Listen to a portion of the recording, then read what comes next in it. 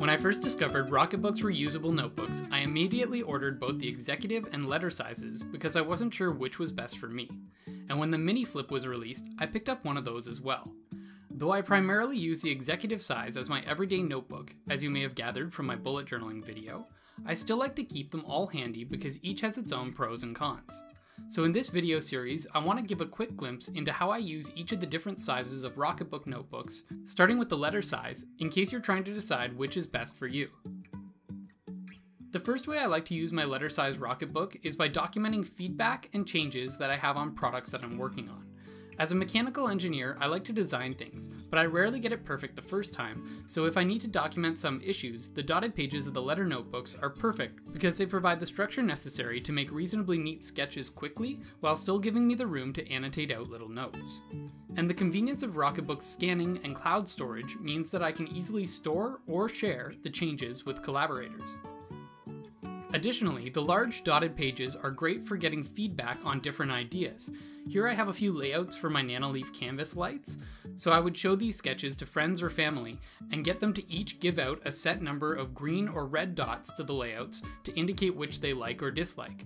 This helps me to decide which one I want to use. I also like to use my letter size Rocketbook to sketch out graphs when I start a new research study, because it helps me to visualize the data that needs to be collected and what my hypotheses will be.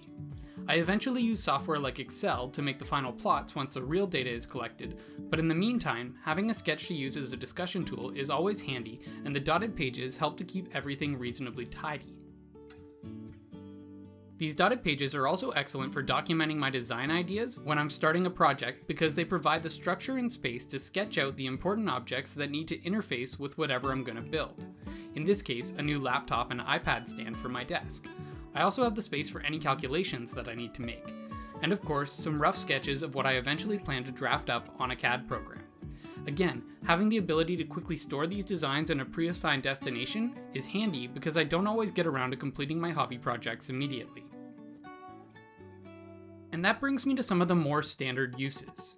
I find that, unless I know that my notes are going to be brief, the letter size Rocketbook is my best option for free-form note taking, and the template I like to use is the Cornell system. If you're not familiar with it, you divide the page into three sections a bottom section for the summary or take home message, then a thin and thick upper section that you can use to document points and thoughts that usually relate to one another. Two ways I use this are going into a meeting where I can plan the questions that I have ahead of time so that I don't forget them, then keep general meeting notes during the session and indicate where my questions were answered before summarizing what needs to be done next at the bottom so that I can add some tasks to my agenda moving forward. Then the second example I have is documenting some of my thoughts about products as I develop video reviews. In this case, I indicate which aspects of the product are important to discuss, then as I use it, I jot down a few thoughts before summarizing everything in a take-home message about who I think should or shouldn't buy this device. My one tip for using the Cornell system in a Rocketbook is to keep the thinner section near the binding because you can usually take more time and write less here, so this helps to mitigate some of the annoyances associated with bumping your palm against the coil binding. The final use I have is for copying course notes. Now, I don't do much of this since finishing my degree, and depending on your instructor, you may not even take notes like this anymore, but I thought I would provide an example just to show what it could look like. If you're copying out notes verbatim, creativity is less important but it's nice to have a digital backup of your notes that won't fade over time in case you need to reference them in the future. The biggest issue you'll probably run into here is how long it takes for the ink to dry when writing your notes. So to avoid smudging, I like to use the 0.5mm FriXion pens that dry a little faster. Then I start my notes on the back side of a page to allow the first page more time to dry while I write on the second. I would also suggest that you leave space for more complicated figures and take pictures of them in class so that you can take the time to let the ink dry if you want to use a ruler and make them look neater.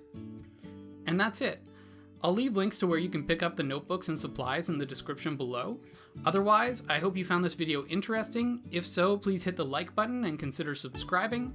And if you'd like to see more videos like this, please leave a comment down below. I'll see you next time.